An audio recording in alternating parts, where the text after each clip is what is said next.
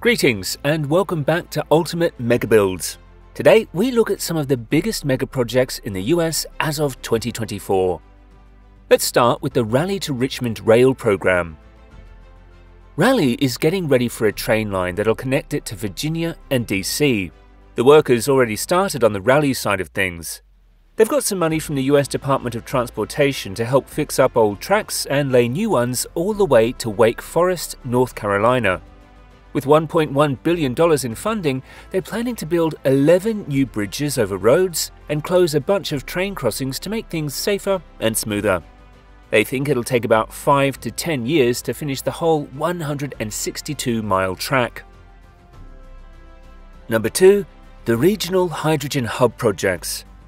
At the 2023 Hydrogen Americas Summit, four significant hydrogen production project announcements were made, spanning major regions across the United States. Each project is supported by federal funding from the US Department of Energy, or DOE. The Midwest Alliance for Clean Hydrogen will operate in Illinois, Indiana, and Michigan, managed by the Heartland Hydrogen Hub. The High Velocity Hydrogen Hub in Texas is led by High Velocity H2 Hub. In the Appalachian region, covering Pennsylvania, Ohio, and West Virginia, the Appalachian Regional Clean Energy Hydrogen Hub takes charge. Lastly, the California Hydrogen Hub will function in California under the guidance of the Alliance for Renewable Clean Hydrogen Energy Systems. The project has a strong financial backing. The Appalachian Hub is set to receive up to $925 million, the Midwest Hub up to $1 billion, and both the Texas and California hubs will get $1.2 billion each. These projects are part of a wider effort under the Infrastructure Investment and Jobs Act, or IIJA, which has allocated approximately $7 billion for hydrogen production facilities throughout the US. The specific start and end dates for construction have not yet been provided. Number 3. Upper Ohio River Navigation Project the Upper Ohio River Navigation Project is upgrading the Montgomery Lock and Dam near Monaca, Pennsylvania. This project is led and funded by the U.S. Army Corps of Engineers, or USACE, under the Infrastructure Investment and Jobs Act, or IIJA.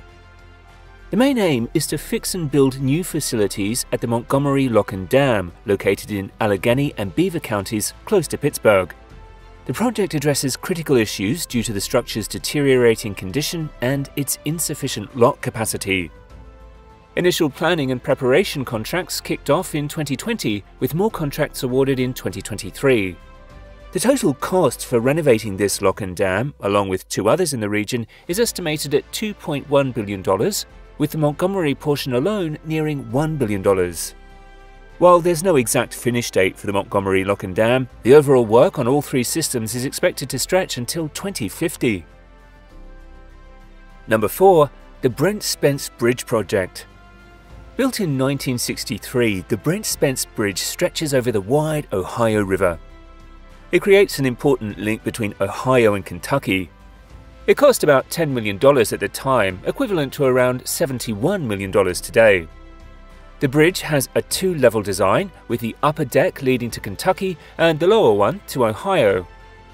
The bridge was initially designed to accommodate 100,000 vehicles a day, but as the local population and traffic volumes have increased, it is now handling more than double its planned capacity.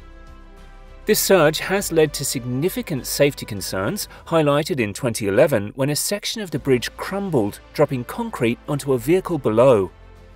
Despite this incident, local authorities insist the bridge is safe, attributing the mishap to factors other than the increase in traffic. Regular inspections are said to maintain its structural integrity. However, the severe traffic jams and ongoing congestion remain major issues. To address these challenges, the government has greenlit a $1.6 billion project to construct a new bridge. This yet to be named bridge will divert interstate traffic from I 71 and I 75, allowing the Brent Spence to cater only to local traffic. This change is expected to significantly reduce congestion and the risk of gridlock, making travel smoother for everyone. Number 5. Brightline West High Speed Rail System.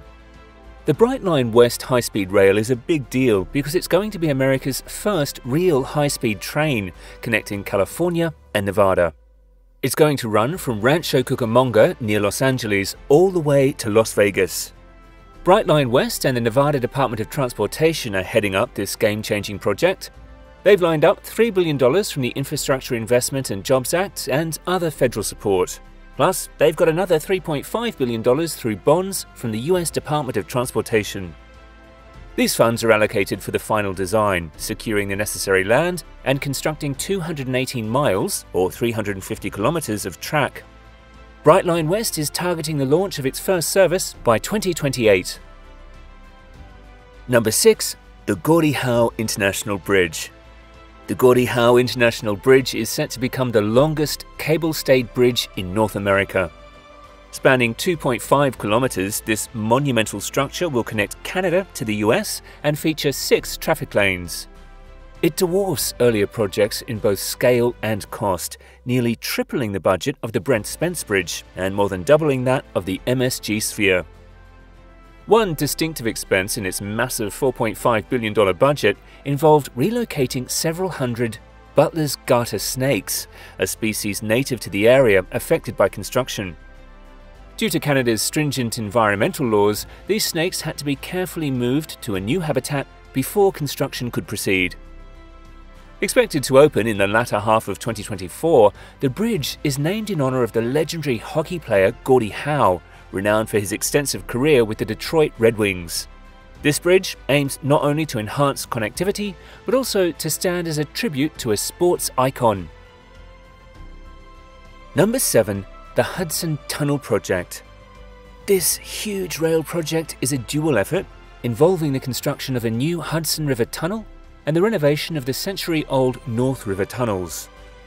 The total cost of the project is expected to exceed $16 billion, with $12 billion of that already secured through federal funding. The funding arrangement has the federal government covering 70% of the costs and local contributions handling the remaining 30%. Currently, the project is in a critical phase that focuses on the final design and construction of the new tunnel. This phase includes installing new tracks, signals, traction power, ventilation systems, and comprehensive fire and safety systems. A significant $3.8 billion for the system installation and other setup tasks has been funded by the Federal State Partnership for Intercity Passenger Rail Grant Program, thanks to the US Department of Transport. The Gateway Development Commission is managing the oversight of the project, which is expected to be completed by around 2035.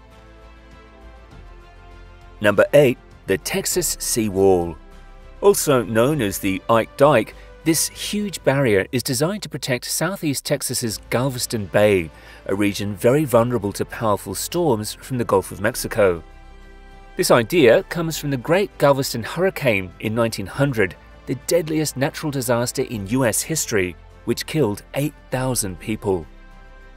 After this event, the original Galveston seawall was built in 1902 and has been defending the area for more than a century.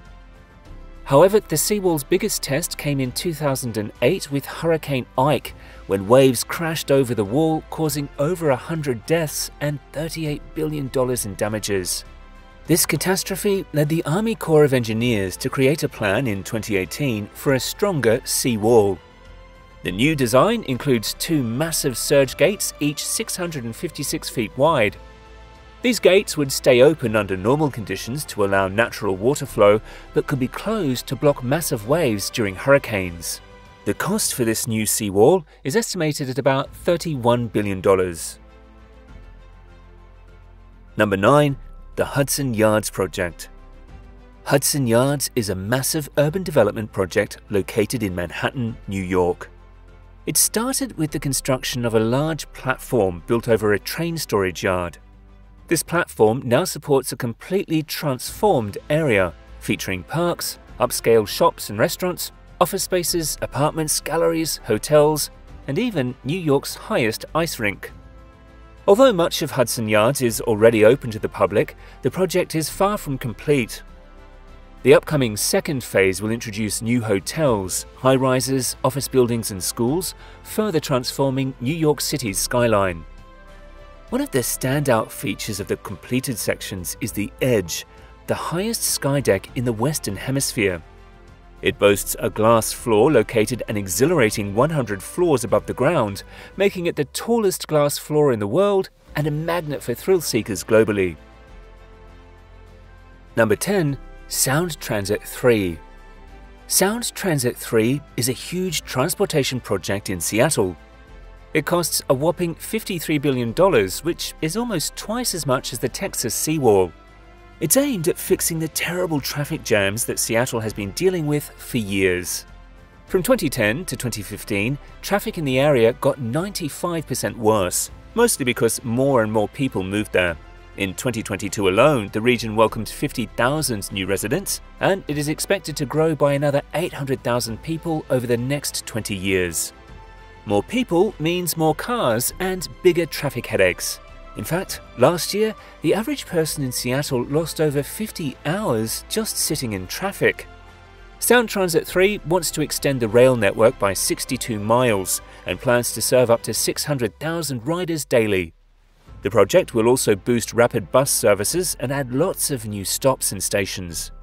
It will start in 2024 and keep building until 2041, gradually easing the traffic mess as the population keeps growing. Number 11. The Penn Station Access.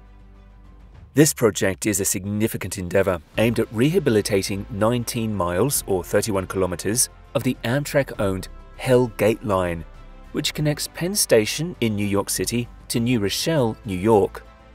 The New York State Metropolitan Transportation Authority, MTA, has secured over $1 billion from the U.S. Department of Transportation's Federal State Partnership for Intercity Passenger Rail Grant Program for the Northeast Corridor to finance this project.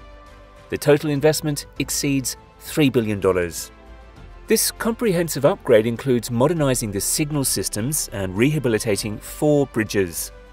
The project also involves constructing four new interlockings, five new power substations, upgrading two existing substations, and overall track rehabilitation.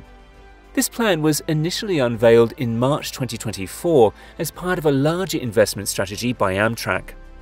Construction of the four new stations is set to begin this year, with the entire project expected to be completed by 2027.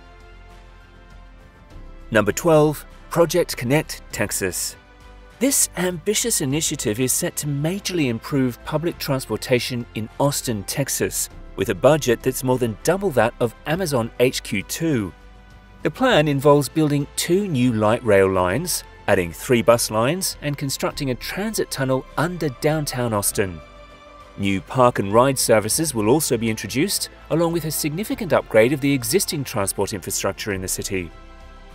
A key objective of Project Connect is to support environmental sustainability by transitioning to a zero emission fleet. All buses and trains in this project will run entirely on electricity, which will greatly reduce Austin's carbon footprint. It's important to mention that this current plan is a scaled down version of the original 2020 proposal, which was even more extensive but had to be revised due to financial limitations brought on by the COVID 19 pandemic. So that's all we have for you today at Ultimate Megabuilds. Which of these projects fascinates you the most? Let us know in the comments below. We'll be back soon with another exciting Megabuilds video.